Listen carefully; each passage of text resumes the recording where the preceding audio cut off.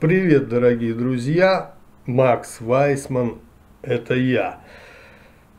Тема нашего сегодняшнего топика – это Москва и Санкт-Петербург.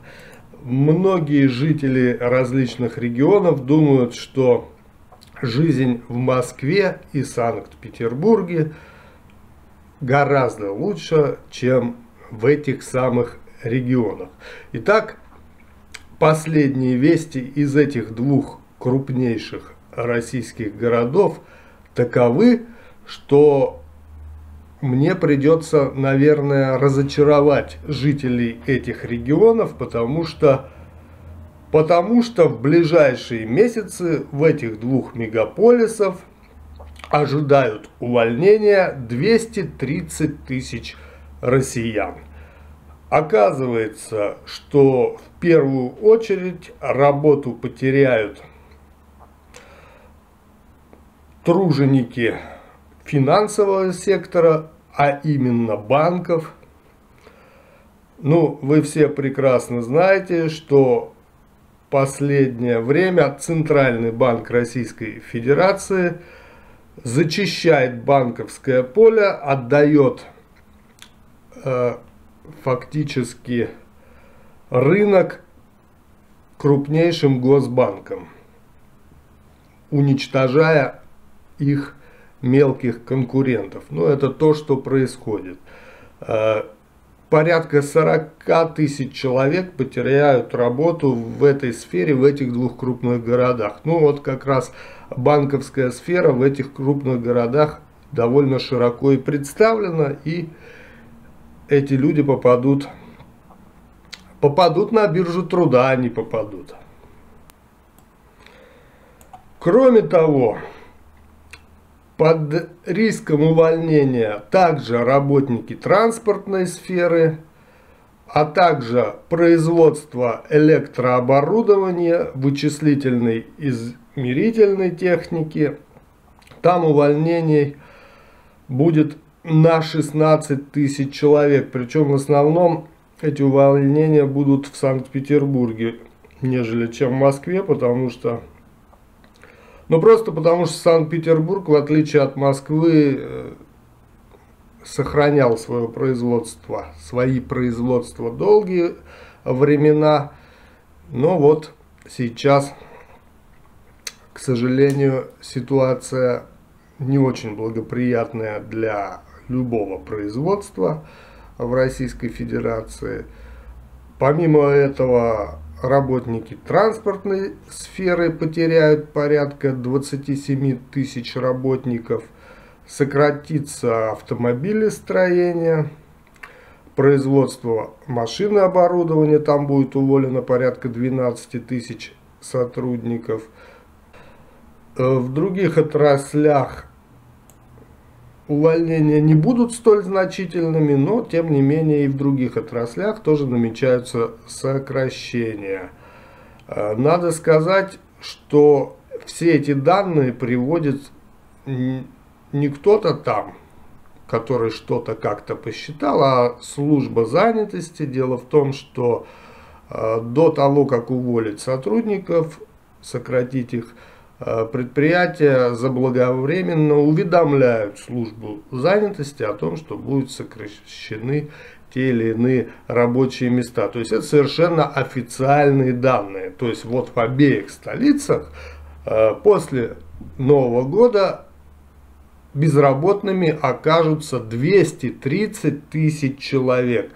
А между тем Владимир Путин на своей большой пресс-конференции 20 декабря заявлял, что безработица в стране сокращается. Помимо того, что безработица якобы сокращается, он еще заявлял о каком-то прорыве. А о каком прорыве может идти речь, если работники в таких важных для прорыва отраслях – как электронная промышленность, электротехническая, э, оказываются на улице, вот работники этих отраслей. Значит, у этих отраслей нет заказов, правильно? Э, о каких прорывах он вещает, ребята? ну, ну ладно. Этот президент, как всегда в своем репертуаре, главное не сделать, главное пообещать, ребята. К слову, несколько слов о Санкт-Петербурге. Летом я был в этом городе, прекрасный город.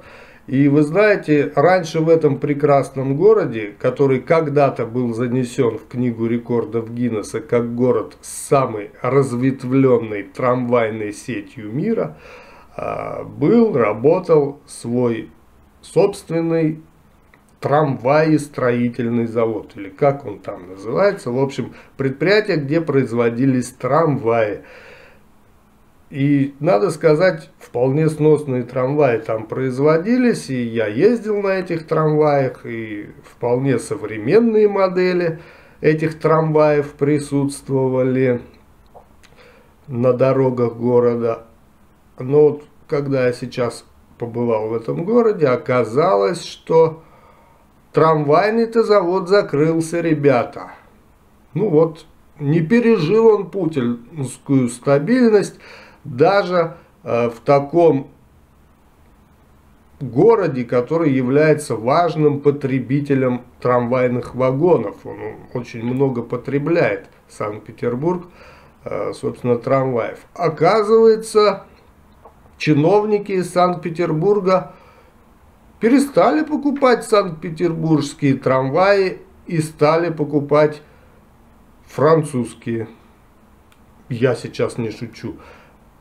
Реально в Санкт-Петербурге начали ездить импортные трамваи, которые стоят в несколько раз дороже, чем трамваи местного производства.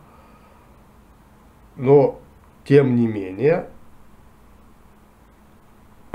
вот она квинтэссенция вот этих вот прорывов, о которых обещает глава государства. Свой завод закрыть, не покупать продукцию этого предприятия.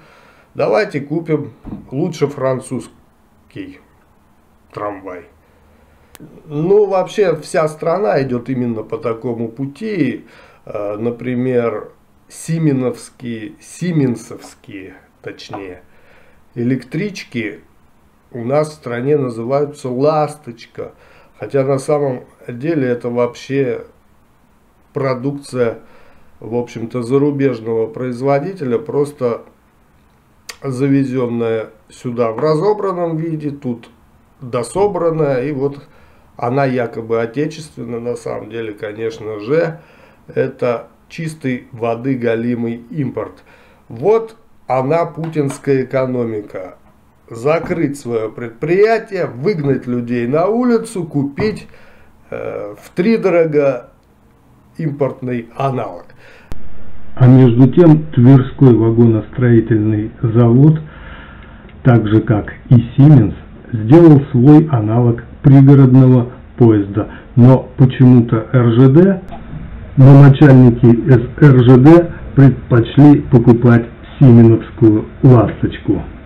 Как вы думаете, можно верить человеку, который обещает какие-то прорывы, а вот вся его деятельность показывает, что он двигается точно в обратном направлении. Не, в, не прорвать, а наоборот в клочья разорвать всю собственную экономику и собственных продуцентов. Вот такое вот у меня сложилось мнение. А для жителей региона, которые стремятся, возможно, переехать в столицы, э, вот, собственно, информация. В этих столицах добавится на 230 тысяч безработных только в самые ближайшие месяцы 2019 года года. За сим прощаюсь, держитесь за свою работу.